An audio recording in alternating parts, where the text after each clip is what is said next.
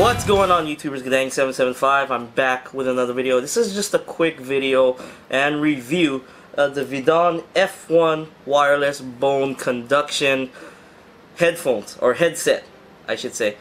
So I've tested these out thoroughly and basically thoroughly enough for me to get sick because I went out running uh, what Tuesday I think or Monday or Tuesday and the temperature swung, swinged in about 20 degrees in about 20 minutes. So I went out running around 8 o'clock. It was like, like when 7, 7.40 a.m., it was like 60 degrees with the wind blowing a little bit. So it was like 55 with the wind chill.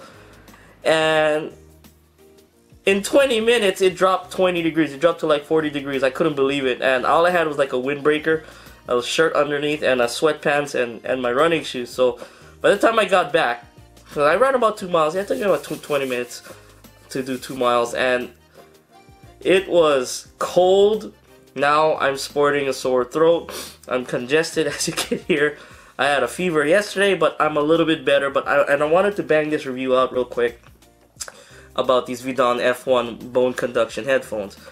Now, the good thing is, like, if you have problems wearing normal ear, you know, earbuds or wireless or over-the-ear headphones, these are not it. Okay, these go right on the outside of your ear and I'm being honest here, I don't really buy the whole bone conduction thing, sending music to your bones. No, it, it, it's not that. What it is, I'm to take this off real quick. You see that right there? Music comes out of there and it kind of goes sideways. It, the way, if, if it sits on your head, it kind of goes into your ear that way. Hence, why they call it wireless bone conduction. I don't know why they call it bone conduction because it's just a loudspeaker that you stick right by your earlobe and you can hear. The thing is, this thing does get pretty loud. Um, negatives are there's no bass, no bass, and no bass. So those are the three negatives that I have with these.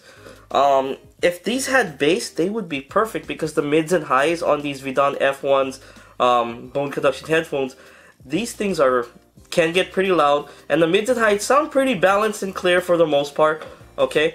And running in windy, you know, windy situation, like it's really windy outside, these things support Bluetooth 4.1, which is pretty advanced, you know, it's pretty high up there.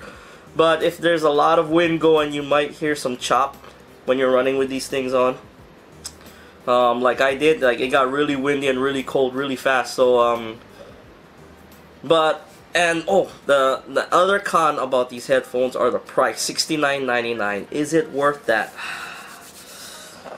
I'm gonna agree with myself in my past video saying $69.99 is not worth it.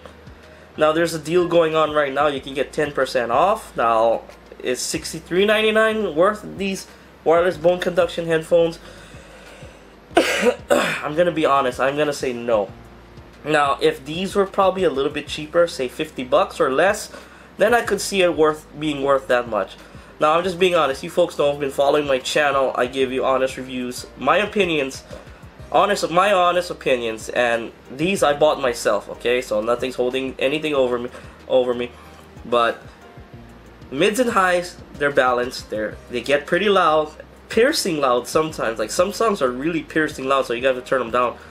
Um, and it does sound a little sharp but that can be fixed with EQ but there's practically no low end so the bass so that's why I can't justify the $69.99 price tag that are on these headphones. Now $49.99 below if it comes down on sale sure why not? Pick it up okay? It's a great alternative especially if you're sick if you have an ear infection okay especially if you got an ear infection like I probably do have right now my ears are like tinging and they're itchy and stuff. These don't actually bother my ear infection. Kind of like like if you got an ear infection and you stick regular earbuds on, man, it, you're you're asking for trouble. It's gonna annoy you.